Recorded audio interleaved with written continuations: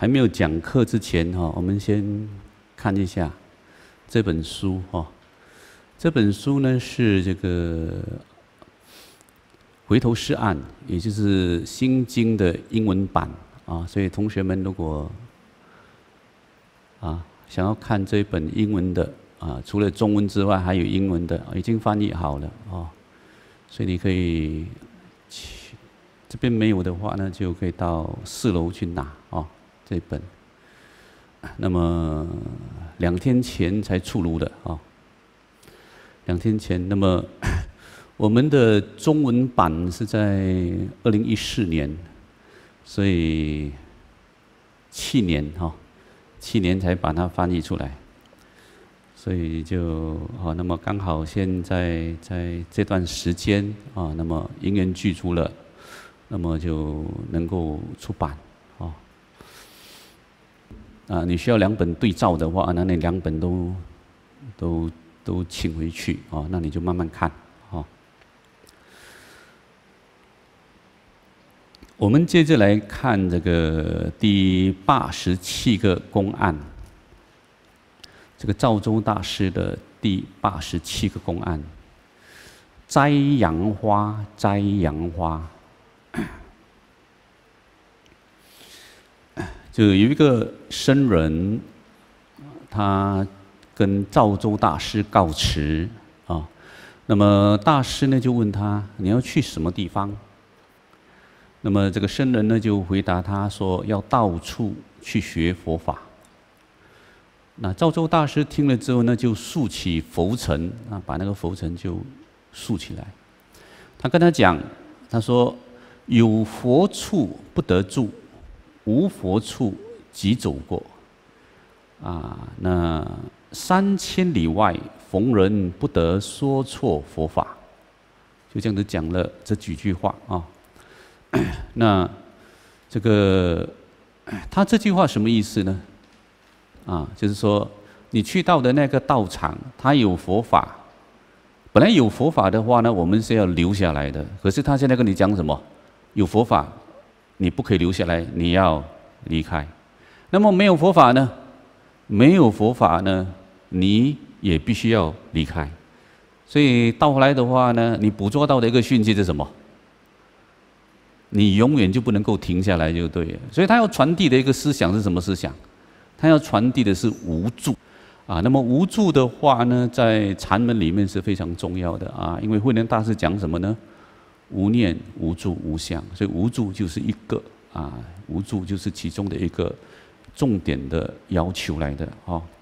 那么，接下来的话呢？他在第三句他讲什么呢？三千里外逢人不得说错佛法，就说 你要离开，对不对？三千里很远呢，三千里很远。那么你在三千里之外，你不能够，你对人你不能够讲错佛法。那么也就是说，反过来你去去理解这句话呢？它的意思是什么？在三千里里面。你可以说错佛法，那么我想请问你，如果你要为人家讲佛法的话呢，你要讲错的佛法吗？啊，你不可能，你不可能，你要对人家讲法的话呢，你要把错的佛法跟人家讲，对不对？所以他这句话呢，它里面所附带的意思是什么呢？就是跟你跟他所附带的意思就是说，当你一离开之后的话呢，在三千里里面的话呢。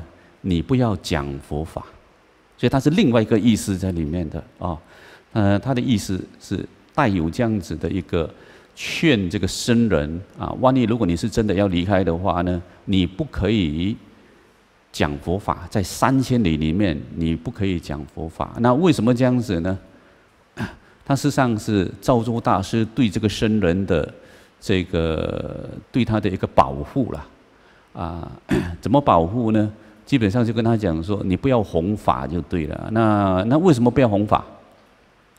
啊，弘法会影响到什么？弘法会影响到什么？会影响到保任，保任你的决心。就说如果你刚刚才发现到，尤其是尤其是这个，尤其是这个出家人，当你刚刚发现到觉性的时候的话呢，那是很珍贵的。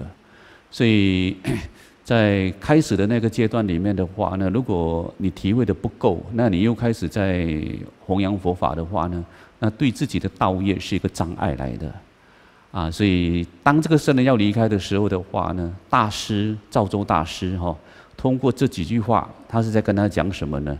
他就跟他讲啊，你不管你去到哪里，你都要学习无助啊。那么在这段时间里面，你离开的前面的这段时间里面的话呢，啊，你先暂时不要弘法。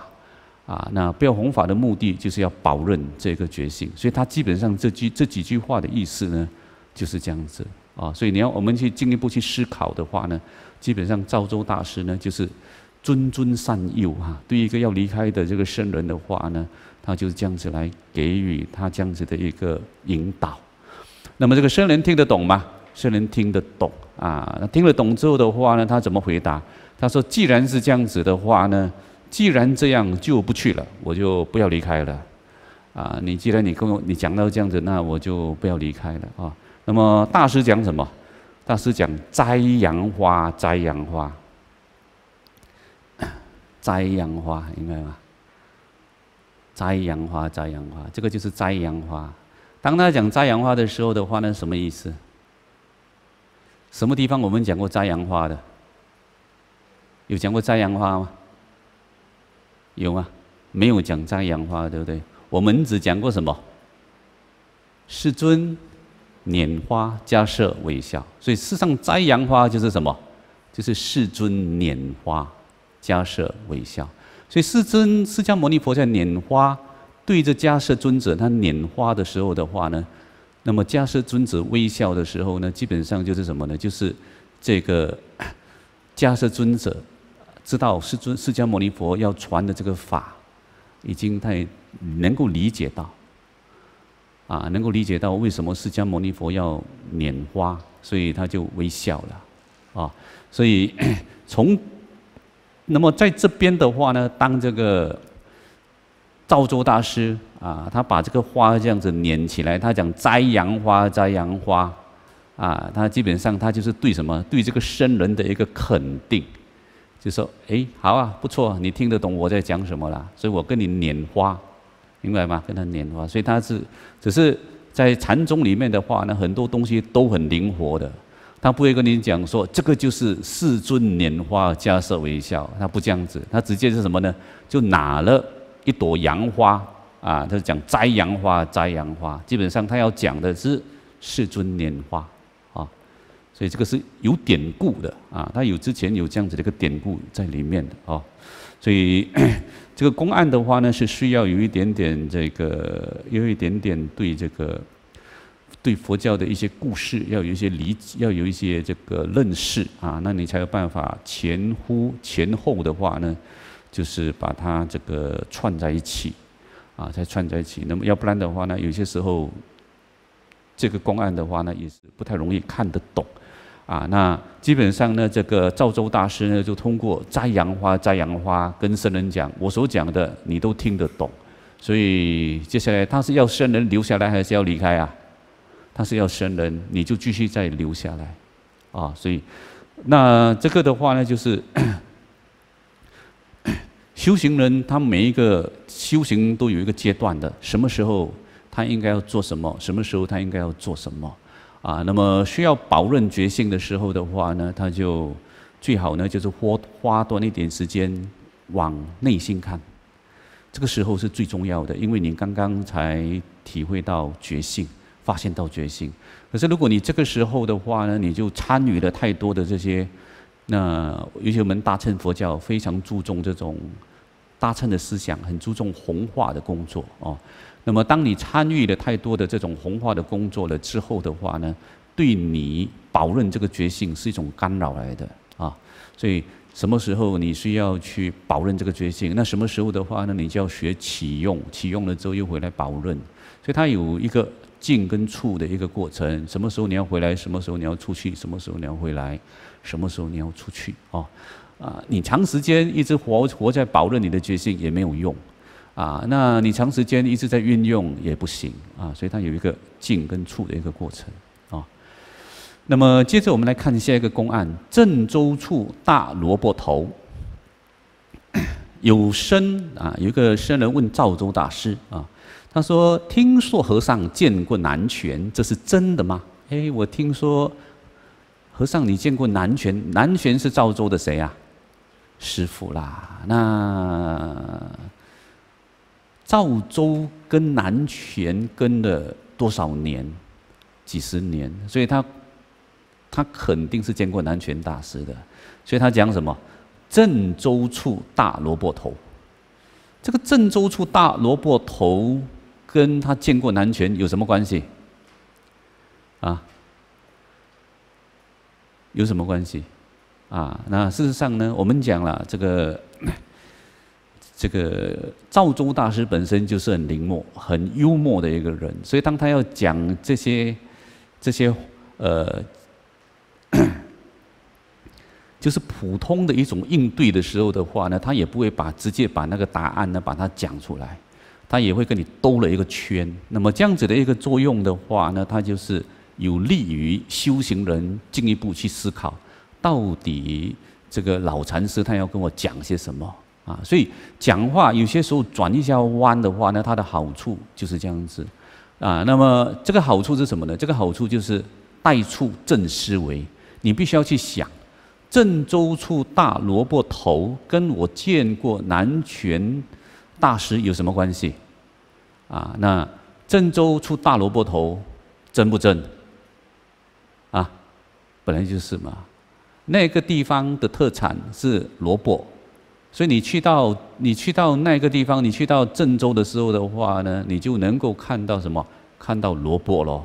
所以你问我有没有见过？你你问我。啊，你问我这见过这个南拳大师到底是真不真？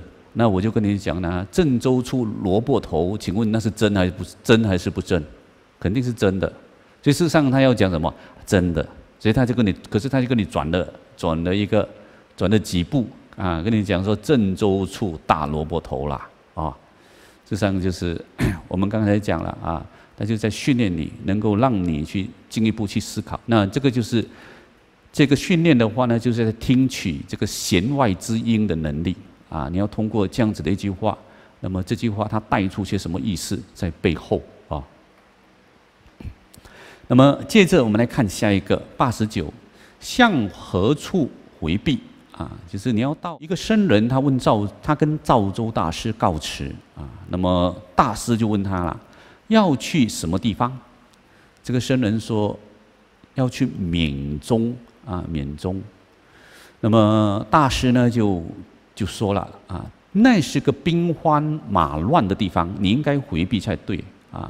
这个圣人说说要去缅中啊，可是这个地方是一个兵荒马乱的地方啊，所以大师呢就劝他，你应该要避免，不应该去那个地方才对。那么圣人就问了，那要回避到什么地方？啊，那赵州大师就跟他讲，恰当的地方。请问恰当的地方是在哪里？啊，就是没有兵荒马乱的地方了。那么那是哪里？所以那赵州大师到底在讲什么？啊，赵州大师到底在跟他讲什么？他叫他回避到一个没有兵荒马乱的地方，那是个恰当的地方。那么那个恰当的地方的话在哪里？他又没有讲。所以赵州大师到底要跟这个僧人讲什么呢？基本上，对于一个要离开的一个僧人啊，那这些老禅师、这些老和尚的话呢，他经他一定会带出，他一定会什么呢？一定会关心啊。那关心的话呢，有两方面，一个是什么？一个是关心他的舍身，另外一个是关心什么？关心他的法身，对不对？那么，请问赵州大师跟这个僧人讲说。应该要到一个恰当的地方，是在关心他的色身呢，还是他的法身啊？法身，因为他没有跟他讲要去哪里嘛，对不对？所以外在呢有外在的兵荒马乱，你自己看嘛，哪里乱你就不要去。所以需要我跟你讲嘛，外在的兵荒马乱的话，你自己看。那么内在的兵荒马乱指的是什么？指的是你内心的那些烦恼喽。所以那些内心的烦恼，你不要进，你不要参与在你的烦恼里面。请问你要躲到哪里去？你要住在哪里？对了，你要住在你的觉性。所以觉性呢，就是那个恰当的地方，明白吗？所以他这句话呢的意思就是这样子，啊，要一个恰当的地方。呃，你知道这个修行的这个要求的话，你呢，他这个公案呢就不会太难啊。那么有一个僧人啊，他就问赵州大师，这是另外一个了哈，另外一个公案了。僧问赵州大师，什么是囊中宝啊？囊中宝。那么赵州大师跟他讲说什么呢？闭嘴！你知道我们在。我们在古代的话呢，就是华人的文化里面，每次很喜欢讲到锦囊妙计，对不对？啊，你要远，你要出远门，那么那个，那么你如果你碰到有一些有经验的人的话呢，就在你的锦囊里面的话呢，写下一些一些一些解决问题的一些方法啊，那么跟你讲说这个让你带在身上，所以当你带这个东西带在身上的时候的话呢，你就会感觉到什么呢？好像比较有信心，因为你带着一个，你带着一些方法，带着一些处理事情的一些手段之类的东西，它就就像一个什么，就像一个宝这样的囊中宝啊！就所以我们以前有讲的那种，我们刚才讲的那个锦囊妙计，就是属于这一类啊，属于这类囊中宝。那么他问了，什么是囊中宝啊？这个圣人问赵州大师，什么是囊中宝？那请问囊中宝指的是什么？囊是什么？除了是锦囊之外，它还是什么？我们这个身体是不是囊来的？我们的身体就是一个臭皮囊来的，所以里面的宝是什么？觉性。所以囊中宝是什么？觉性。啊，那既然是囊中宝是觉性的话呢，你应该要怎么？你为什么赵州大师讲说闭嘴？啊因为什么？本来如果那个僧人问赵州大师什么是囊中宝，赵州大师直接应该跟他讲什么？觉性就是囊中宝。啊，那当赵州大师跟他讲说觉性就是囊中宝的时候的话呢，他就里面就没有带有禅机了。那就是你明问我问我就明答了，就没有带有那个禅机，就是你他的答案就给的太直接了。那在禅宗里面的话呢，他。一般上，他就是不要让那个答案变成太直接，他就是要各一层，让你去思考。啊，这这个就是他的一个给这个答案的一个作用。啊，这个就是禅机其中的一个作用，我们叫做暗示法义。啊，它是暗示，通过暗示，不是明示哦。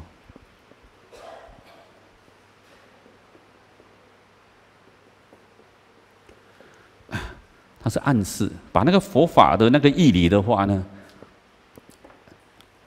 他通过暗示的一个方式呢，把那个佛法的义理呢讲出来啊，它是暗示，它不是明示啊。那么这个闭嘴跟这个觉醒什么关系？这个你就要回到哈，就要回到什么呢？就回到禅门里面一句非常重要的话。就是什么？就是言语道断。当我们在讲这个觉醒的时候的话呢，觉醒不是靠什么？觉醒不是靠你嘴巴讲，它是靠什么？它是靠你自己本身一直往内去找，找到了之后的话呢，你必须要让你活在那个状态里面。那在大乘的经典里面的话呢，它有几部大乘的经啊，比如说这个《华严经》，还有这个。方广大钻研经里面的话呢，他就特别提出了源于道断这样子的一个要求。那么在禅宗里面啊，黄檗希运禅师的话呢，对于这个言语道断呢，他诠释的非常好啊。你们看一下，在这个白板这个地方啊，他说什么呢？默契而已，绝诸思意，故曰言语道断，心行处灭。什么意思？就是对觉性的话呢，你就是默默静静的跟他相契，你去感觉你的觉觉性是什么。所以默契，你不要用嘴巴想要去通过用嘴巴语言文字，你要去讲，因为你讲来讲去都没有用。除非你体会到了，你体会到了，你不用讲也可以。可是如果你没有体会到的话呢，你讲了一大堆也没有用。所以他就跟你讲默契而已，你默契，静静的跟他相契，跟他吻合就可以了。那么绝诸失意，就是你不要通过诗，就是动诗就是动念；意呢，就是不要通过你的口舌，要去要去把它讲白。所以你通过讲，你不要你通过讲也也不行。你通过想也不行，所以不要通过讲，不要通过想，那你要怎么做？你就默默的去感觉它，感觉活在觉性是怎么样子的一种状态，有没有活在觉性？你要慢慢一直感觉，一直感觉，一直感觉。所以这个耐性哦很重要。所以如果你没有基本的这个耐性，你都没有的话，哎，要慢慢去捕捉这个觉性存在或者不存在的话，连这样的耐性都没有的话呢，那基本上。你要弃入你的觉性就很难啊，所以这个耐性啊，那么后面他说什么呢？他说：“源于道断，心行处灭。心源于你通，当你想通过这个源于，要去把那个觉性这个道把它讲清楚的话呢，你是讲不清楚的。所以源于道就断，你没有办法把这个把这个觉性的这条这个道的话呢，你要。”把它讲清楚，那是不可能的啊！所以言语道断。那心行是什么意思呢？就是如果你要通过我们的心的造作，心的造作就是什么？就是动念。所以当你想要通过动念去找你的觉性的话呢，找得到吗？找不到。所以他跟你讲心行处灭啊！所以这个呢是黄檗禅师对言语道断的这个解析啊。那么。呃，我找过了蛮多啊，那么就发现到说呢，黄檗禅师讲的是最好的啊，他讲的最好啊，所以这个就是我们的囊中宝啊，我们的囊中宝。那接下来我们来看第九十个，横担一条柱杖。这个有一个新来的僧人对赵州大师说：“他跟他讲哈，我从长安来啊，我从长安来，虽然横担了一条柱杖，却不曾碰着任何人。啊，那么大师说，肯定是大德的柱杖短，身无言以对。”啊，这个僧人呢跟赵州大师讲：“我从长安这个很远的地方来，我横担着一条担着一条扁担，你知道吗？一条扁担。我们担扁担要担扁担要有技巧的，你的扁担可以前后，对不对？这样子担。你看，如果你把它横担在这样子的话呢，你走你要过门有办法过吗？你没有办法过。那么这个圣人就跟你讲说：我从长安来，我这个担呢是这样子担着的，我就这样子走，可是都不会撞到一个人。请问为什么？”为什么这样的走，我不会撞到一个人？为什么？所以他的这个担是什么？决心，他就是保任着这个决心。那么，决心有形有相吗？没有啊。所以他怎么担都可以，明白吗？所以他可能他跟赵州大师讲，我担着一条一条担子，横冲直撞的话呢，都不会撞到任何的人，明白吗？那大师呢，怎么讲？大师呢，基本上呢就当做听不懂啊。那他怎么回答他呢？他跟他讲，肯定呢是你的柱杖太太短啦。所以因为柱杖很短的话呢，所以你就装不到人啦，明白吗？所以这个是什么？这个真正来讲呢是什么呢？真正来讲就是大师的幽默啊。那么僧人呢，因为大师大师讲说这个柱杖很短的话呢，这个僧人就反应不过来了，因为他到后面他也不懂。到底大师呢是懂呢还是不懂？所以他就卡在那边了，明白吗？啊，他就卡在那边。这个很有趣，这个是机锋相对啊，机锋相对。下一个赵州肖像啊，就是赵州的画像。我们现在要有这个要留这一张这个画像的话呢，基本上很少人去画了的啦啊，因为都会特别花时间，而且又贵，对不对？基本上你就是拍照。那么在古代呢，全部都是用描出来的啊，用描描描出来的啊。那么这个生画了赵州的肖像啊，他就把它画了。那么之后就交给赵州大师。那赵州大师呢，就拿着那个肖像，他就问这个僧人：“你说你画的这张肖像呢，像不像我？啊，如果是像我的话呢，你就是在杀我；如果你画的是不像我，那么请你把这张肖像烧掉。”生无言以对。他在赵州到底在讲什么？画的像就是在杀老生，为什么？啊？你画的像就是在杀老生，因为当他画的像的时候的话，那他就是什么？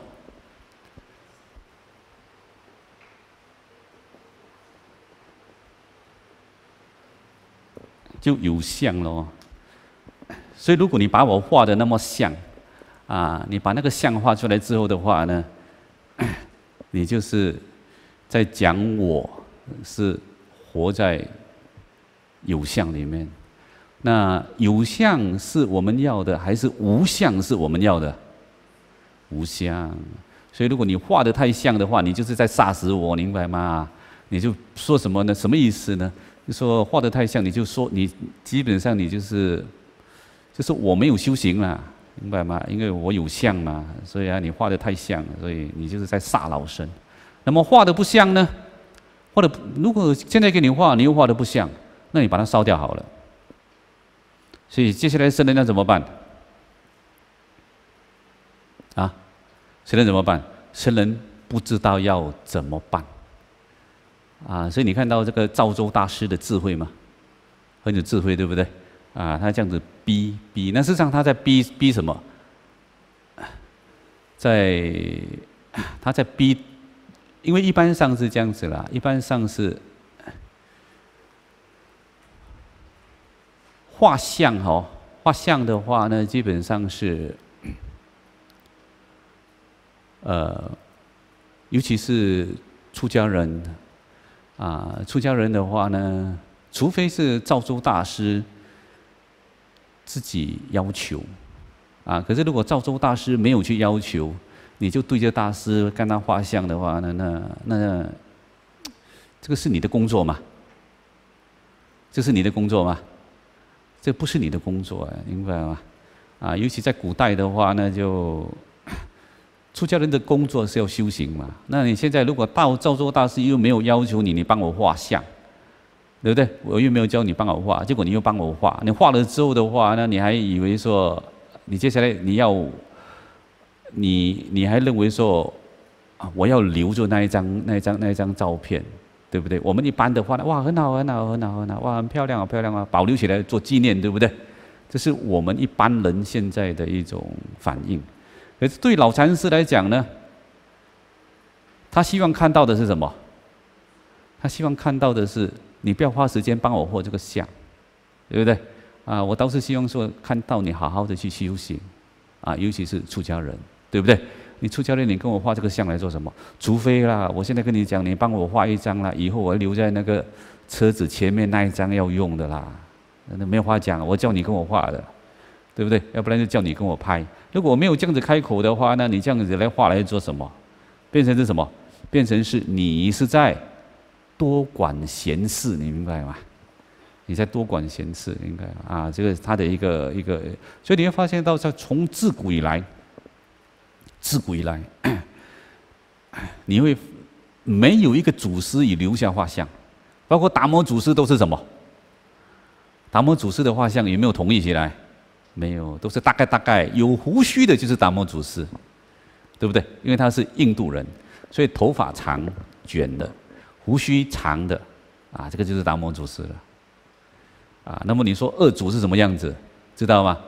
不知道。三祖什么样子？没有人知道。四祖没有人知道。五祖知道吗？六祖慧能大师什么样子？大概大概，从他的《六祖坛经》里面，只是知道说，因为他在中米，所以身体很瘦，啊，所以绑着一块石头在身上，那么然后去中米，所以从这边你就推测慧能大师应该是瘦小。啊，所以帮慧能大师画那个像的时候的话呢，就不能够画得太胖啊，就瘦瘦小小这样子，啊，全部都是凭什么？凭推测的，它不是真的，所以没有一个祖师也留下任何的这些画像来给我们看的，啊，所以这个是一个很很那当然在古代这些画像要找到这样子的人才也不容易。那当然就是画一张像的话呢，你们有没有给人家画过？要画一张像需要多长的时间啊？需要半个小时吗？至少，明白吗？至少啊，需要半个小时的时间啊。那既然赵州大师碰到了，所以他就会敲这个僧人啊，你你这个他就借借借这样子的一个一个一个一个一件事情的话呢，他在跟这个僧人讲无相啊，跟这个僧人讲这个无相的这个道理哦，就带出了那个 无相的这个机锋啊。那接下来我们看第九十二。庭前过树子是祖师意啊。这个僧一个僧人问赵州大师：“祖师从西天而来，为的是什么？”赵州大师说：“庭前的播树子，就是祖师从西天而来。请问达摩祖师从西天来到我们中土，为的是什么？”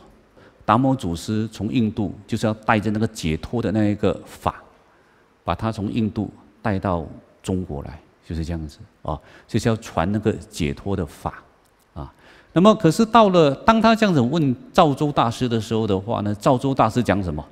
庭前的柏树子，哎，达摩祖师从西天来到中国，为的是什么？赵州大师跟你讲，就是为了这棵柏树。那么这个僧人呢？他又在问了，他说：“和尚，请你直接说，你把它讲清楚吧，你不要用这个素不素的，你这样子讲啊，我听不懂。那当如果说当他这样子讲听不懂的时候的话呢，他如果讲白了之后的话呢，就有没有残疾啊？就没有残疾了。所以这个问的这个僧人的话呢，基本上他的是属于一个比较低的一个层次来的啊，他要赵州大师讲白。”啊，不要用外景，不要用这个术，你直接跟我讲清楚。达摩祖师从西天来到中国，为的是什么？啊，那结果大师怎么回答？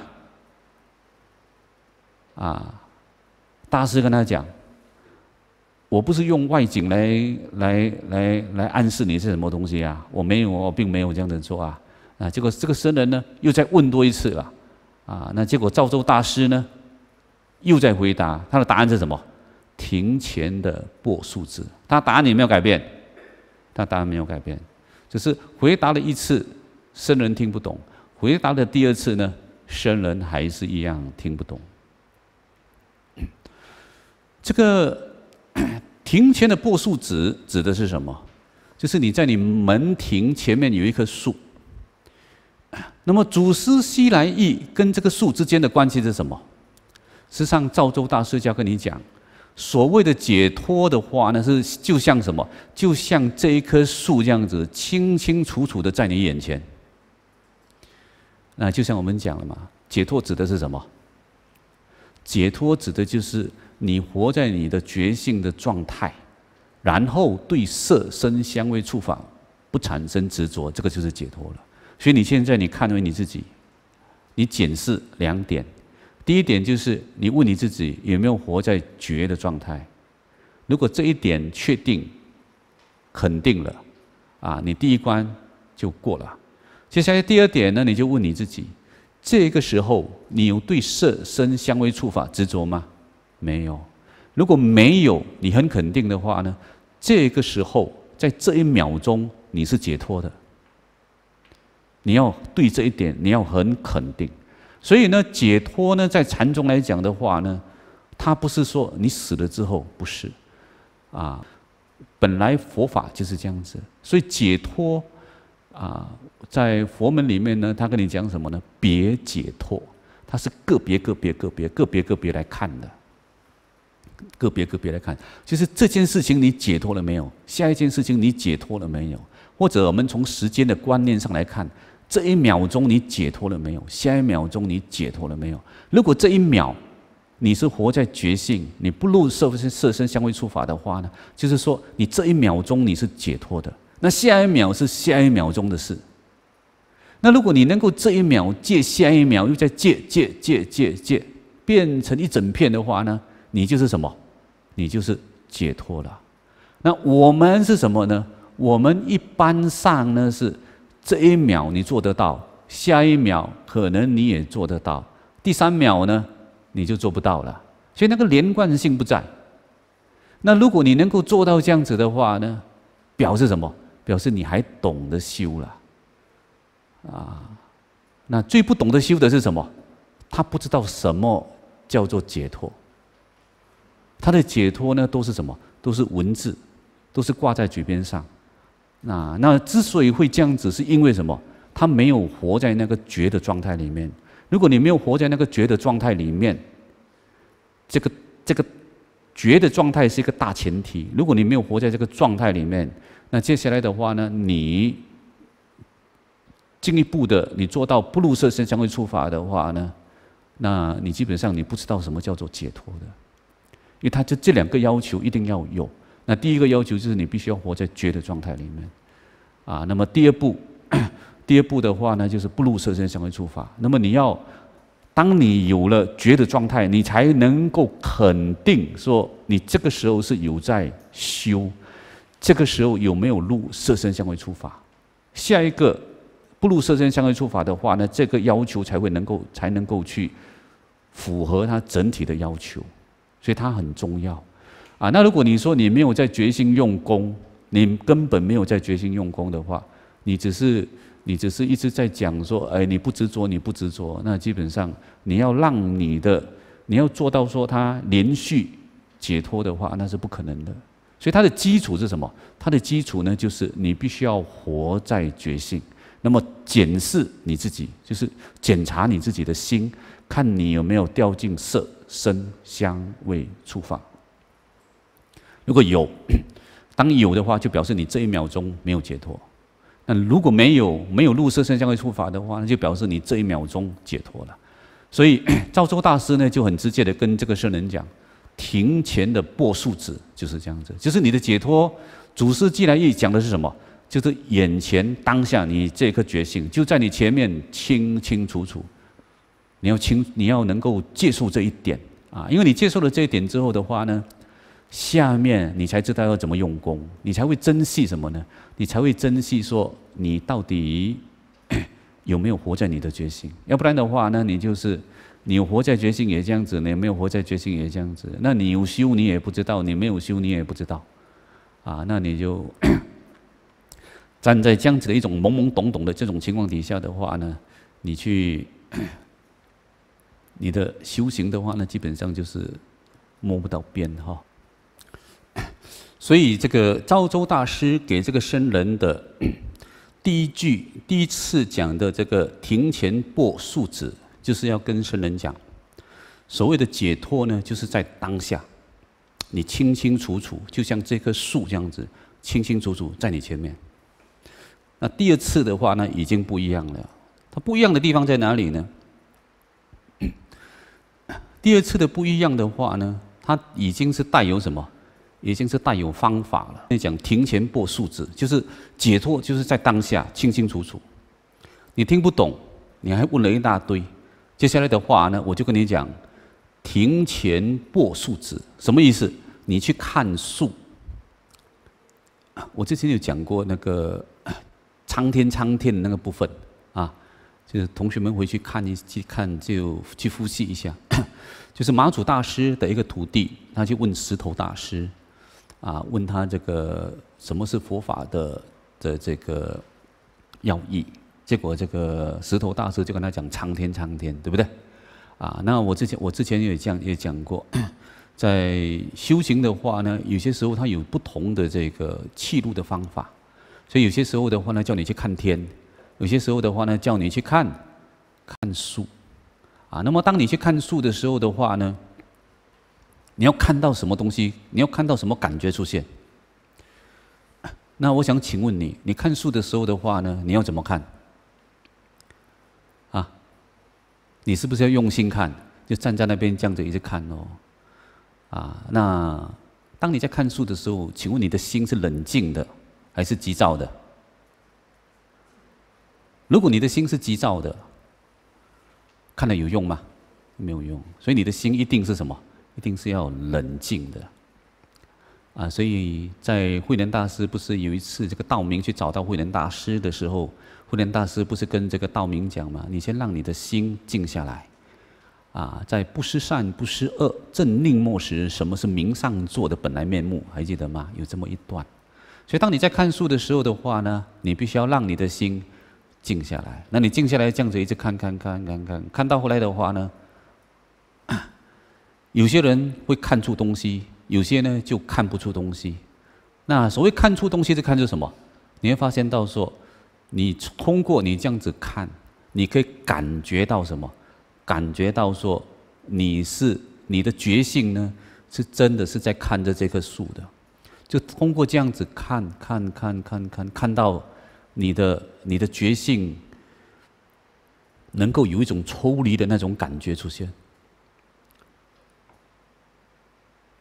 啊，那要看多久不知道？你要看多久不知道？这个是其中的一种呃修行的方法来的，啊，这个是其中的一种修行的方法。我之前讲过，我在我在我在我在泰国的时候，就有一些出家人专门修一个法，就是看着书。那当然，你看这树的话呢，就会看出两个结果。一个结果的话呢，就是看到那个树是什么？是无常，啊，会一等下那个树，等一下会有这个有虫在里面，对不对？啊，那你看到，所以你看你捕捉到的讯息是什么？啊，那可是有些人的话呢，他除了看到这些之外，他能够看到什么？看到那里面有一个看的人呢？请问那是什么？那个是你的觉醒。那你怎么样去做到这一点？我现在跟你讲，你听懂了吗？你听不懂，那你要怎么样才懂？看书，明白吗？你就回去看喽，你就回去看，这个是其中的一个方法啦，明白？这是其中的一个方法。那当然，我们还有教什么其他的数息观，它到后来也是这样子。你拜佛也是回答同样的东西，包括你念佛也是同样。我们叫你看着念，它的它的这个它出来的效果都是大同小异的，啊。那么看书呢是其中的一个方法。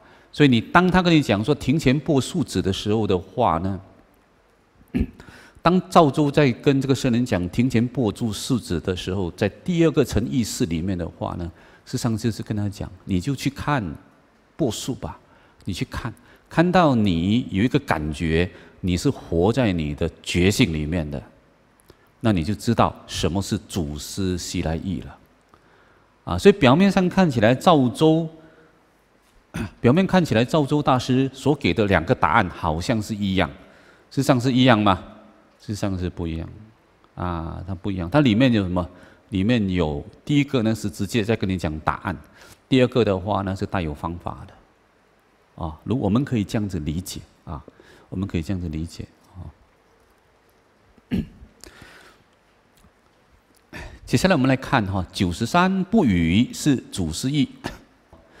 那有生问赵州大师：“什么是祖师西来意？”赵州大师呢？你看，之前他讲庭前播树子，对不对？为什么讲庭前播树子？因为在那一个因缘里面有那棵树在那边，他就跟你讲庭前播树子。那么现在呢，没有那棵树在那边，所以他就跟他赵州怎么样？赵州大师下了禅船，他本来是坐着的。那么人家问他什么是祖师西来意呢？他就从禅船上，他就下来，就站在那边。那么这个僧人就问他了：“难道这个便是？哎，你这样子站在那边，那个就是了。”啊，那个赵州，赵州大师讲什么？老僧并没有说什么啊，我并没有讲这个是还是不是啊？那你认为是是还是不是？所以他就必须要给这个僧人去猜，到底他在讲什？他到底这个这样子的一个动作？我之前讲的那个庭前播树子嘛，你再把那个答案跟他套到这边，请问一样还是不一样？一样还是不一样？一样啊！我就站在你前面哦，第一个，对不对？哦，我就站在你前面呢。所以什么是主师西来意？主师西来意就是在你前面。解脱在哪里？解脱就是在当下。他的意思就是这样子啊。那么你当这个圣人在问了，难道？哎，你的解脱就是这样子吗？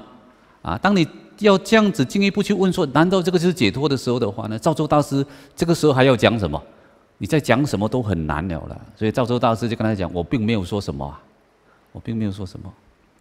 这个为什么他讲他并没有说什么呢？因为当他要讲的时候的话呢，他就必须要像我这样子，从头到尾要跟你讲讲讲，要讲很多啦，明白吗？啊，那么 他就没有那个机锋。我们现在这样子讲的话呢，已经没有机锋了。我们是在跟你，请问现在我们是在明示还是暗示啊？对，我们现在是在明示，明白吗？我们现在跟你讲清楚他们到底在考什么。那么跟你讲清楚了之后的话呢？你听了有信心，那到后面的话呢，你就回去你的决心那边去用功。所以，我们现在把它讲白哈的作用是这样子，讲白了的作用是要让你对这个修法的话呢产生信心。它的作用是这样子。那实际上里面呢，因为已经讲白了之后的话呢，它已经是什么？已经是没有机锋了。那如果这些是，所以在在这个。从某一些、从另外一些角度里面来 来看的话呢，这些残疾哈是不应该解的，不应该解的。可是，可是，可是因为呢，我们这个我们之前讲过了那个禅宗的史，对不对？禅宗的历史，这套修法的话呢，基本上已经失传了，已经没有人懂得用这些机锋来这样子相对，这样子对来对去，已经不懂了。已经没有了。那既然没有的话，如果我们还要能够看得懂这些祖师的这些语录，把它当成是一个教材的话呢，要怎么做？我们只有把它讲白，讲白了，讲白的话呢，从中去吸收它的重点在哪里。所以我们是从另外一个角度来切入这些公案的，它的作用是这样子。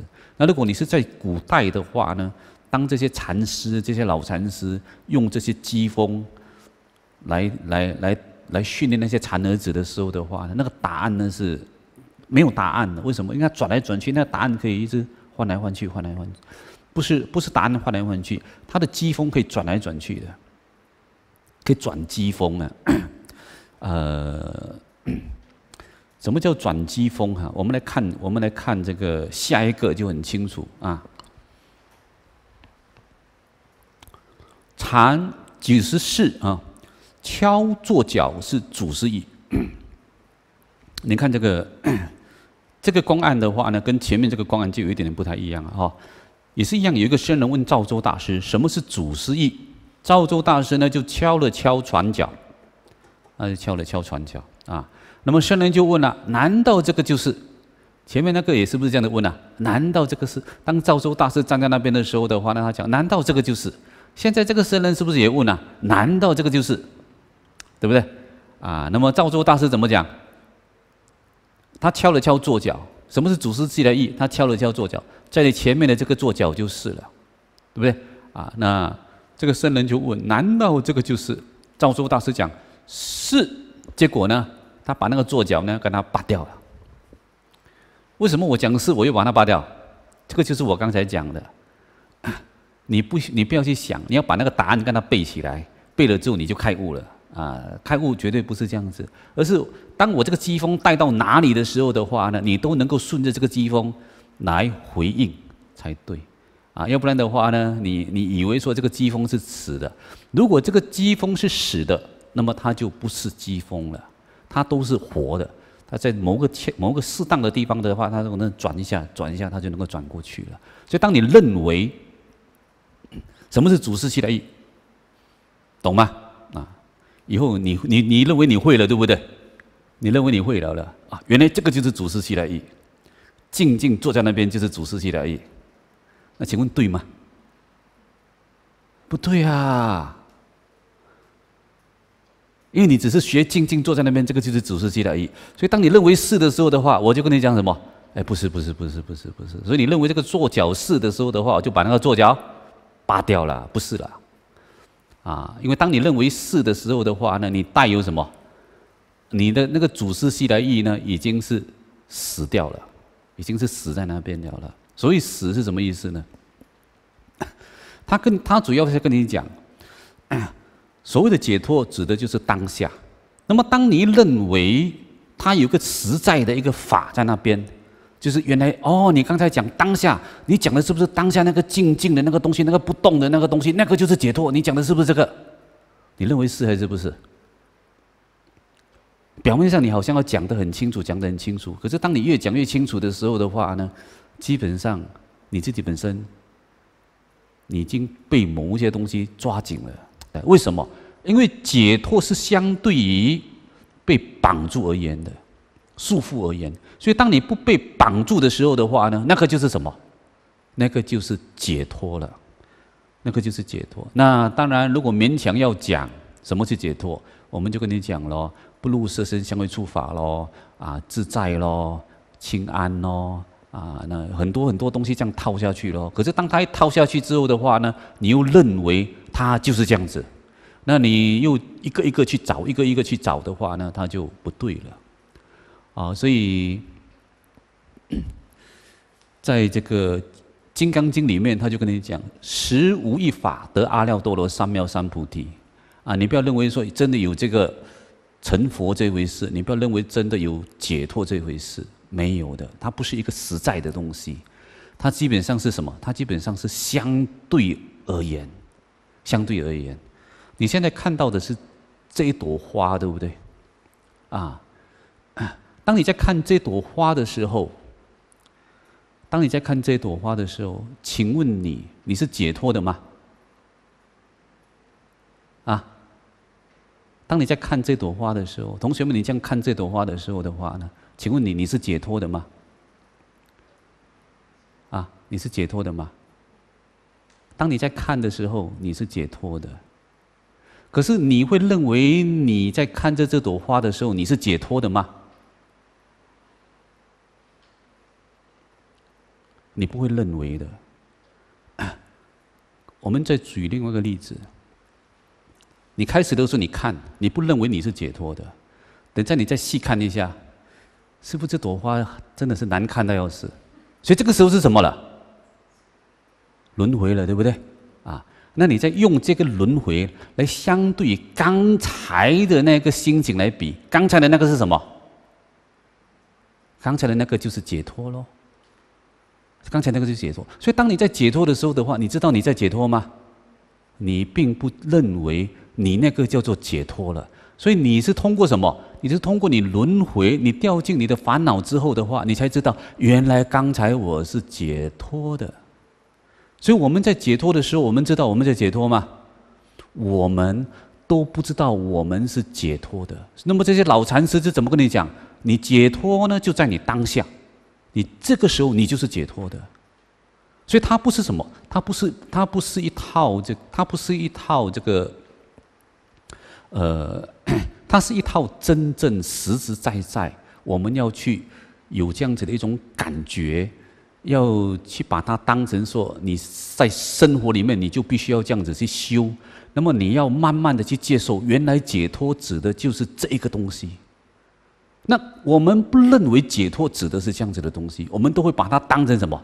解脱呢是很无上的，它是另外一个很什么什么什么什么什么。我们加油添醋了之后的话呢，我们把它这个当成是解脱的。可是事实上是什么？我们刚才是在解脱的心境里面的，对不对？我们之前是解脱的。我们看着这朵花的时候，请问谁会对我手上拿着这朵花产生执着的？没有。可是你知道你刚才是解脱吗？你不知道。可是如果你刚才的那个心境，你去照顾好，你我问说，你刚才是不是解脱的啊？你有做两件事情。第一件事情就是你问你自己，你的觉性有在吗？有在。第一个，第二个的话呢？请问你会对这朵花产生执着吗？不会。所以不入色身相对处法。所以第一个，你对你的觉性的存在，你很肯定。第二的话呢，你知道你并没有对这朵花产生执着，所以只要这两个因素一存在的话呢，你就是什么？你就是解脱。就记得刚才你解脱的样子是什么样子吗？是什么样子的一种心境吗？刚才你的解脱的心情是什么心境？有东西吗？平淡吗？就好像你在呼吸空气这样子，没有东西的。所以解脱是什么？解脱它之所以很难，是因为什么？它是因为它平淡到我们不认为这样子就是解脱的。所以跟你讲庭前破树子，跟你讲说你当前的这个注脚就是，我们都不认为这样子。那么当我们不认为这样子的之后，造成的一个问题是什么？我们不会在当下用功，我们的用功都是什么？过后找时间去修行。实际上修行是什么？修行是在现在。啊，你什么时候你想要修？这个时候你就要修。那怎么修？你问你自己有没有活在觉性里面？第二个，你问你自己有没有掉进去？没有。这两个这两个条件一存在的话呢，你就要跟你自己讲：我那个时候那一秒钟我是解脱的。那你要对这样子的一个状态，你要很清楚，要有信心啊。这个信心是靠自己慢慢建立起来的哦。啊，这个我要建立建立，慢慢建立建立建立。我现在就活在解脱的状态，解脱的状态，解脱状态，解脱状态。那个别个别解脱，别解脱，别解脱。我对这枝花我解脱，我对这个引磬我也解脱，我对这支笔我也解脱，我对这本书我也解脱，我对这个杯子我也解脱。所以对个别个别个别个别的东西我都解脱了，啊，我都能够活在觉醒里面来看待任何存在的色声香味触。啊，那如果时间久了之后的话，我就很肯定，哎，我是解脱的。那当然，最后一关就是死的时候要面对死亡的那个苦啦。啊，这个是没有办法的，这个是没有人能够去，没有人能够去，去去去给你给你怎么，就是没有人能够帮你的，因为这个这个是要你自己本身要去经过的，你自己要去经过。当你在当你要面对死亡来的时候的话呢，你还是一样做回两件事情。问你自己：你的决心在吗？啊，第一件事情。第二的话呢，就是你还对你这个色身执着吗？你还有什么东西放不下？啊，如果这个东西你能够放下，那个也能够放下，能够放下，放下，放下，都能够放下。你又问，再重新问回自己：你的决心在吗？啊，在。身体会痛吗？会痛。啊，所以活在身体。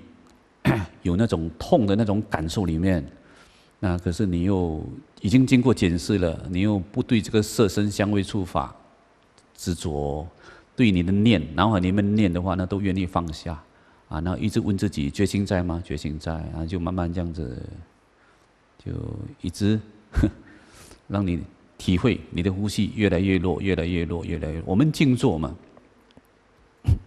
我们静坐为什么要静坐？静坐其中一个非常重要的关键就是你要体会，当你的呼吸很细的时候的话，你的人还不会死，那么你也不会怕。我们一般上，当那呼吸进入到很细的时候的话，你就很怕，以为你要死了，啊，那那事实上是你一定要经过那个阶段，就是你的呼吸很细了，近近近乎一种若有若无的一种状态，你仍然还是不会怕，仍然还能够保持你的觉性。那在这种情况底下的话呢，来面对你的死亡，这个叫什么？这个叫做善死，好好的死。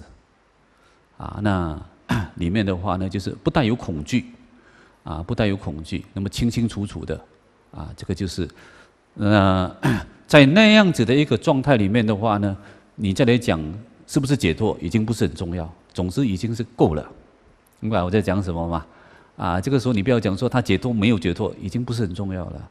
你能够处在这样子的一种状态里面，你就这样子走的话，那对我来讲就很够了，很够了，很够了。有没有解脱，已经不是一个需要挂在嘴巴上来讲的一句话了啊！就是能够修到这样子是不错的啊。所以简简单单好像是一个 没有什么的公案啊。如何是祖师系来意？这个就是祖师系来意，看起来好像很简单，那事实上这个是真正最难的。因为我们从来不把，我们从来不把当前的这个这个解脱的这个法的话呢搞清楚，啊，我们都会把它复杂化。那么，当你没有把它把这一点跟它搞清楚的时候的话呢，你对解脱，你说你想要去修的话，那你就很难的。我们刚才讲的这些都是什么呢？这个叫做什么？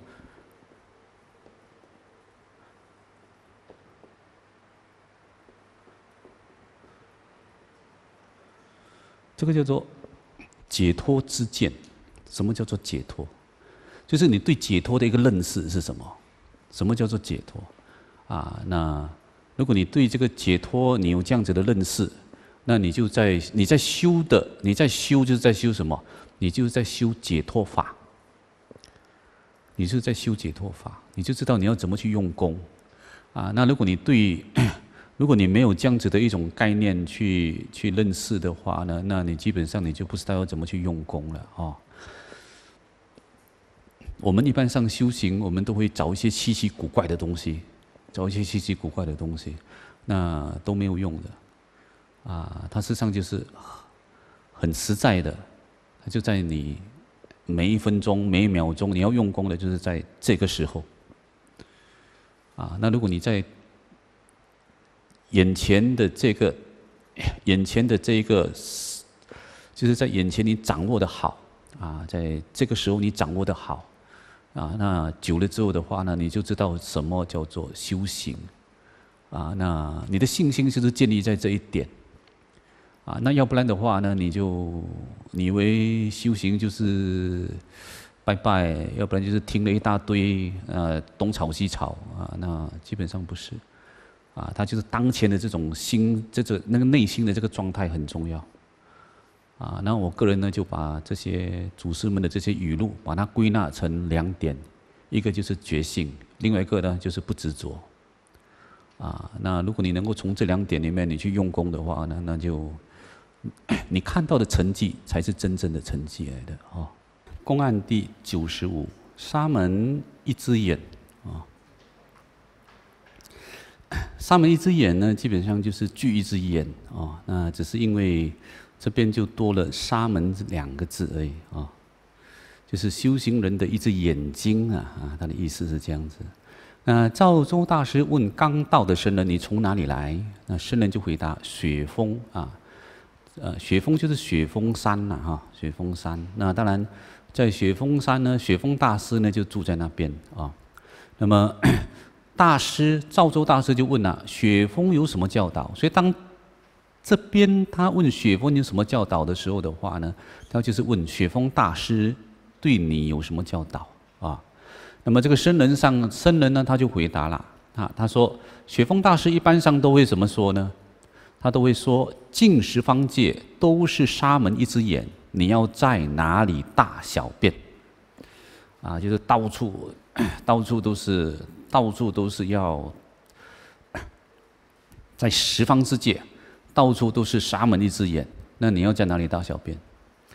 那这个这个是一个这个题，这个的话呢，就是把你卡住了。就是说，我们刚才讲嘛，哈。请问佛在哪里？啊，哪一个地方没有佛？有形的跟无形的，对不对？啊，或或者说，我们应该这样子讲哈，哪一个地方没有佛法？啊，哪个地方？我们用我们不用佛，我们用佛法来谈比较好啊。哪一个地方没有佛法？前面这个板有没有佛法？你怎么认为前面这个板有佛法呢？啊，啊，因为它是无常，是因缘，是无常是因缘，所以它就是空。无常即是空，因缘所生法即是空，对不对？所以这个板，这个板的话呢，有没有佛法？有，所以有没有佛，它就有佛了。所以它的意思是这样子，啊，它的意思就是这样子。所以这个板有没有佛？有。请问同学，你们坐的这张椅子有没有佛？有没有佛？有佛啊！有没有佛？所以你现在是坐在佛上面呐，是不是？啊，你开始进入你的脑子里面了。现在你刚才你上厕所对不对？请问厕所马桶里面有没有佛？有啊，你们在那边大小便。所以他就跟你讲哦，进虚空十方界，到处都是佛。那你要在那里大小便，是不是把你卡死了？啊，他就把你卡死了，就让你卡在那边。让你求生不得，求死不能啊，在那边不懂得怎么办啊？那么，这个就是雪峰大师给予他们的那边的僧人的教导。那么大师呢，赵州大师呢，于是就对这个僧人讲啊，他跟他讲舍离啊，就说你要回去的时候的话呢，我寄你带一个铲子回去啊，你要回去雪峰山对不对？我我就寄你带一个铲子回去，这个铲子要铲掉什么？到处都是沙门一只眼，这个铲子怎么去对这个沙门一只眼？实际上，这个沙门一只眼，这个时候指的就是一个很一个很绝对的一个法，一个很绝对的一个法。那么现在，当这个赵州大师说他要这个僧人带一把铲子回去的时候的话呢，这个铲子已经变成什么？它已经是变成另外一个很绝对的法。如果从我们的心性上来讲的话呢，这个铲子就是觉性；可是它展现在外面的话呢，它就是铲子。那事实上，这个铲子呢，也就是什么？也就是沙门一只眼。所以你现在你说到处都是沙门一只眼，对不对？我现在用另外一个沙门一只眼，沙门一只眼，你有办法对沙门的一只眼吗？有吗？有啊，我有办法啊。因为你的铲子，因为到处都是沙门一只眼嘛。我现在要这个僧人带这把铲子回去，这个就是沙门一只眼。所以用沙门一只眼来对沙门一只眼，做什么用？铲子做什么用？挖洞，挖洞了之后呢，把这个沙门一只眼跟它埋起来喽。所以埋了起来之后的话，你要在哪里大小便都可以了。明白他的意思吗？啊，会不会乱？所以他不是这个铲子要把那个大便埋起来哦，不是，这个铲子是要埋什么？要埋那个沙门一只眼。本来沙门一只眼，一只眼的话呢，它是个抽象的东西。那经过他这样的描述之后的话，那好像变得很具体。既然是很具体的话，我就用铲子来代表沙门一只眼来对峙你所讲的沙门一只眼啊，能够能够能够接受这套逻辑吗？这个就是肾对肾的，这个就是肾对肾。沙门一只眼是肾，一只眼啊，这边是肾，这边是肾。那我这边呢？这边是一把铲子，这把铲子。可是我铲子喻指的是什么？这个铲子喻指的是什么？喻指的就是一只眼。所以这个是变成什么？这边就是，这边是肾，这边也是肾，所以以肾来对，以这边这个产值这个肾来对这个肾，可以吗？这个听不懂没关系啊，因为它它有一套逻辑在里面啊，它有一套逻辑在里面啊，慢慢去听。啊，我们来看第九十六，大道直通长安啊。赵州大师说：“知道无难，唯贤俭则。”这句话呢，事实上是出自哪里？出自《信心铭》，我们读过哈。大道无难，唯贤俭则。但莫真爱动然明白啊，记得吗？在三祖的这个三祖的这个生忏的这个《信心铭》里面啊，第一句话就是这样子啊。那么，当这个赵州说“知道无难，唯贤俭则”的时候的话呢，这个僧人就问：“怎么样才是道？”啊，你说他是大道，这边赵州大师讲大道，僧人就问怎么样才是道？大师讲什么？墙外面的就是道。墙外面的道是什么意思？道就是道路的意思，所以在墙外面就是道路喽。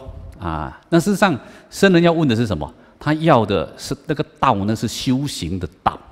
所以呢，僧人就跟他讲说：“我不是问这个，我不是问这种普通的道路，我要问的是道。”啊，那么赵州大师说：“你问的是哪一个？”僧人就跟他讲：“我问的是大道，大道啊，大道的意思是什么？大道的意思就是修行人所要走的那一条道路，或者是修行人的这个修行出来的那个成果，这个叫做大道啊。那么赵州大师什么呢？赵州大师说：大道直透长安。你会发现，这个僧人所要问的，都是一些。修行上的一些成果，你修到后来是要做什么？做什么？做什么？可是赵州大师的话呢，他的回答都是什么？都是很平淡的。这个就是了，这个也是。你要问道，这条路就是。那这条路你这样子直直走的话，就能够到长长安了了。跟我刚才讲的那个都是一样的一个一个一个要求来的。我们在修的时候的话呢，我们都会去捕捉一些稀奇古怪的东西，要不然去捕捉一些好的感受的东西。啊，那事实上真正要用功的点是在哪里？就是在平常里面那些很淡、很没有味道的东西，那个才是你真正你要下功夫的地方。啊，那可是我们不认为它是这样子，所以我们就把它放得很远。啊，你就把它放得很远。所以当你把它放得很远的时候，你不懂得原来所谓的解脱，指的就是你当下的这一个觉照的心，你的这个觉性啊，你在你这个觉照的心去用功，不让它入色身香味触法，就是不让它产生执着，这个就是修行的一个最根本、最重要的一个要求的话，如果你这一点你没有去把它弄清楚，你不珍惜这一点，那你还一直想要说。要修一些什么奇特的法，那你就是，你就是 你所走的那条修行的路的话呢，它就是不够直接。那禅宗的话呢，它就是要你走的一个很直接的路。所以我们已经讲得很清楚了，修行两个要求，第一个是活在觉性，第二个就是不入色身香味触法。它就是第一个所谓活在觉性。你就是要保持正念哦。那接下来的话，那你发现到你执着，你就放下你的执着了，就是这样子。啊，如果你在这两个地方你懂得去用功的话，不管你修的怎么差，都是 very good 啊。明白吗？都是很好了了，都是很好。啊，因为什么？因为你做错了，你就改过，你就反省；做错了，你改过，你就反省。那可是如果你不是在这两点你去用功的话，啊，你怎么修都没有用。啊，你怎么修都没有用哦，所以这个就是禅宗所想所讲的什么呢？所讲的平常心是道，啊，所以禅宗讲的那平常心是道是很重要的啊啊，那要不然的话呢，我们就会把修行呢当成什么很奇特、很古怪，修了之后的话呢，好像 你修到后面的话呢，好像比别人多了两只脚这样子，多了两只脚出来，哇，那 修到。让每个人都感觉到你都很像修行人，那表示什么？表示你很不会修啊，明白吗？人家一看就知道你是修行人，就表示你修的不好，啊，很粗啊，啊，那如果你能够修到说，这个人修看起来没有什么东西嘞，可是你又不，你又不能够讲他错在哪里，可是你看来看去都没有什么特别的，哎，这个什么？这个就是真的修的好了。看起来没有什么特别，没有两只脚，跟我们一样嘞。肚子饿了也是吃饭，对不对？看起来好像都没有什么差别。那虽然没有什么差别，可是你又不能够讲出它到底什么地方不好。那好的也蛮多的，可是好的也不奇怪，对不对？啊，又感觉到很普通这样子。哎，这个就是禅宗所讲的平常心是道哦，平常心是道啊，要不然我们一定会捕捉。到一些很古怪的讯息，你就是修到后来的话呢，你就跟别人不一样啊！当你感觉到你跟别人不一样的时候的话，你要很小心了啊！你要很小心了啊！因为他一定是什么呢？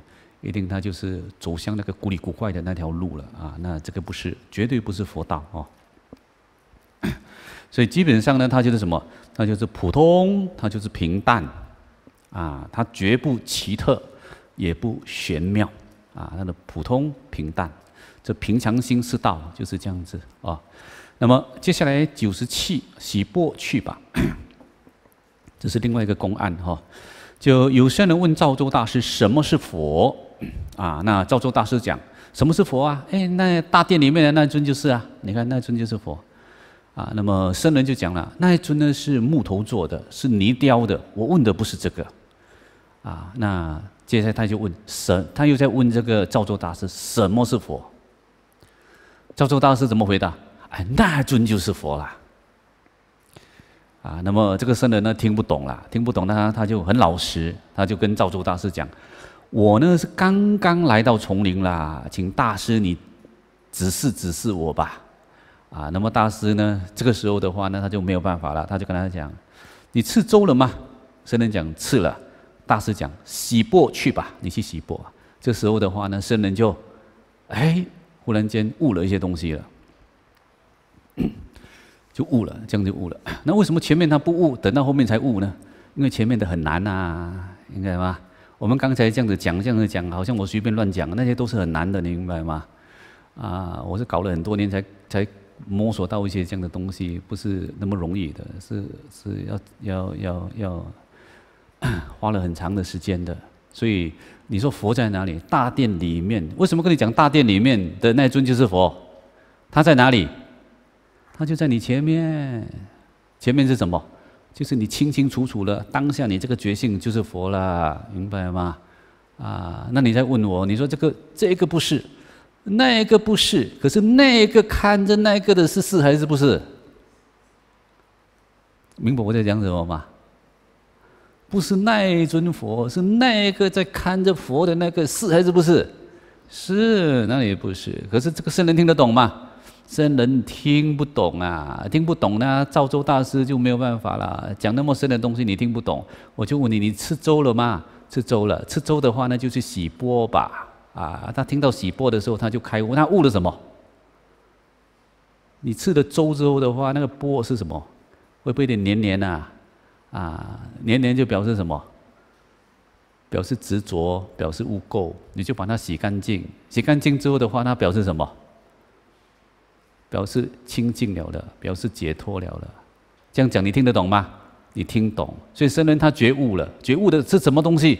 觉悟的是很浅的东西，深的他听不懂。后面赵州大师跟他讲去吃，吃了粥去洗钵，他听懂。啊，那基本上是因为赵州把那个法的要求呢降低下来了，所以僧人听懂的是很浅的法来的，明白吗？所以有些时候你听懂了，你不要高兴，以为你真的懂了。那有些时候你听不懂，对不对？啊，你听不懂的话，你不要，你不要在那边呃起烦恼，因为本身这个东西就是很深的东西来的。啊，那很深的东西的话呢，你懊恼没有用，你就是要慢慢去揣摩，慢慢去揣摩。所以你听得懂的，你不要高兴，因为你听得懂的，你不要高兴；你听不懂的，你不要懊恼。所以这个是什么？这个就是一种态度，明白了吗？所以你赢了，你也不要高兴；你输了，你也不要生气。这是什么？这个也是一种态度来的。就你在面对得失，你在面对输赢的时候的话呢，你会比别人坦然。啊，那我们需要用这种坦然的心呢来修行。哦，那你去看佛咯，你不懂你就看到你懂咯。我们讲过了嘛，啊，看佛。看到，如果你看，你掉进那个佛里面，你就你就慢慢看，看，看，看。那佛佛给你什么提示啊？啊，你要看一尊佛，看到它无常容易吗？那都不容易，啊，对不对？那可是如果你说你看看看看久了之后的话，你有那种活在觉，活在你的那正念的那种感觉的话，哎，那就出来了了，啊，那就出来。可是这是很难的啊，它很难。这个这套修法是最难的。啊，这套修法是最难。你看树，树有变化；你看佛像，佛像没有变化的。啊，佛像没有变化，而且佛像的话呢，它里面带有什么呢？树是中性的，佛像是什么？佛像不是中性的东西，佛像会给你带来一些很很很强的一些能量。你看到佛像，自然而然你会尊敬。那么这个尊敬的话呢，有些时候那个尊敬，它造成你很多东西。它会阻阻碍了你的一些思绪，因为它不是中性的。树的话呢，我们看到的树呢，它是中性的，所以当它是中性的话，你就会看到树的一些自然的现象。那么这个佛像的话呢，它它有自然的现象会出现吗？很难。啊，所以要看佛像看到你开悟啊，那很难啊。所以我宁可选择你去看树。那如果你要看树，我宁可推荐。倒不如你看你自己的念。那如果你说念你没有办法看，那我就推荐你看回你的呼吸，这样子咯，啊，它是比较容易的啊，看回你的呼吸是比较容易的啊。那我们来看第九十八赵州石桥啊。深问赵州大师，呃，一个僧人去到去见到赵州大师，他就问他了：我长久以来就仰慕赵州石桥，就是在赵州的。道场里面的话呢，有一座石桥。那为什么来到这里之后的话呢，只看到小小的木桥，我也看不到大石桥？那赵州又说了。是你只见到木桥，你没有看到石桥，是有石桥的，只是你没有看到而已。你看到的都是那小小的桥。那事实上有些时候那个桥是什么？它不是真的，它只是一个一个一个一个一个一个一个一个讲法而已。它不是真的有一座桥在那边，它没有啊，它只是一个讲法。所以你来了之后的话，你是看不到石桥的啊。那那可是世上有没有石桥啊？有啦，你看不到。所以它的石桥指的是什么呢？啊，那师又问了，他说石桥是怎么样子的呢？大师就讲了，石桥它是渡驴渡马用的，因为马很重，驴很重，所以我就是要给给这个石桥的话呢，是要渡驴渡马用的。那么僧人又在问呢，小木桥又是怎么用的啦？小木桥呢，就是渡一个人渡一个人用的，很奇怪，对不对？啊，原来木桥是渡人用的，那石桥的话呢，是渡牛渡马用的。那，那你现在如果你去到赵州那边，你要你希望赵州呢是给你木桥呢，还是要给你石桥好？啊？要给你木桥还是给你石桥好？你是人还是畜生？啊，你就想啊，如果我去赵州那边，我肯定要走木桥，因为我是人嘛，我哪里要走？我哪里要走石桥？对不对？我哪里要当畜生？给他这样子来欺负我？所以不要，我一定要走木桥，我不要走石桥。我们会不会这样子这样子设定啊？会这样子设定啊？那事实上，事实上，赵州大师的这个渡驴跟渡马指的是什么？这些畜生是什么？这些畜生哈，这些畜生都不简单啊！我们之前讲那个南泉大师啊，在山去山下做一头水谷牛啊，去做一头水牛啊，所以这边要渡什么？这边是要渡那些见性的人呐，所以这个牛、这个马指的是谁？不是普通的人呐，是那些已经见性的人了。所以那个是给石桥用的，渡那些有根气好的人啊。那么人的话呢，还没有见性，所以你就给他木桥，一个一个慢慢教，明白吗？啊，那如果呢你自己本身以为你自己我不要当畜生，我要走木桥啊，那你就。所以它就变成是什么呢？它就变成就是很自然而然的啊，你就会，你会 你会自以为了不起，我不是畜生，我是人，我要走人走的路，你会这样子自以为呀啊，自以为是啊。那么有人呢，后来有一有就有一个 有一个人问起同样的问题啊，那么大师呢都会给同样的答案。渡木桥是这样子，渡石桥的是这样子。那么有一次呢，有僧人问石桥是怎么样子的？大师就讲什么？他没有跟他讲说石桥是渡马、渡牛的、渡驴的，他就跟他讲：“你过来，过来，过来，什么意思？你要不要过来？你要不要过来？我的石桥是渡马、渡驴用的，对不对？我之前讲过了。你现在问我石桥是什么样子的？我跟你讲，来来来来来来，你要不要过来？你过来就表示你是什么？”你是畜生的，那你要不要过来？我不要啊！你不要，你就永远站在那边哦。那实际上这个时候，这个驴、这个马指的是什么？我们讲过了，在禅门里面，这些动物已经不是动物了，这些都是你。你既然这个老禅师把我当成是驴，当成是马，好吧，我就甘愿当驴、当马来给你渡，你就走过来了。你就成驴成马了，其实你的根气就不一样了。我现在把你把你把你当成是驴，当成是马，你内心里面那种身段放不下来。我明明是人，你把我当成是驴，当成是马，哪里可以？我就是不要走过去，对不对？你在那边犹豫一下的话呢，赵州大师就走了。但事实上是什么？就是人的那种执着，那种身段，那种执着，那造成很多时候你放不下。啊，那你放不下的时候的话呢，你没有看到这个是你的问题，啊，你没有看到这个是你自己的问题，所以从修行的角度的话呢，它不在于说，不在于说，我们每次讲嘛，我要去找善知识来教我，对不对？你要四处去拜访善知识，那你有没有问你自己，你到底是什么料，值得善知识来教你？有没有这样的问你自己？没有，那就不对呀。你只是想你要找善知识了，如果是善知识的话呢？请问这个善知识懂不懂得找徒弟？你认为善知识找徒弟比较厉害，还是你不是善知识的，你要找善知识比较厉害？哪一个比较厉害？当然是善知识找徒弟比较厉害啦。所以你不要问说为什么你一直找不到善知识，是善知识不要你。他的眼光如果输过你，他就不是你的善知识。所以你不要说你要去找善知识，时间到了。善知识看到你，他就愿意教你。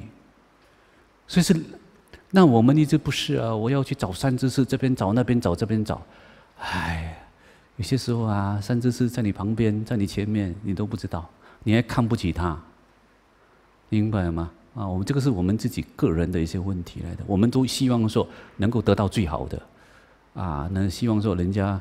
啊，能够给你最好的，可是你为什么不问你自己？你值不值得善知识在你身上花时间？这个这一点很重要，懂得自我反省啊，这个是很重要的啊。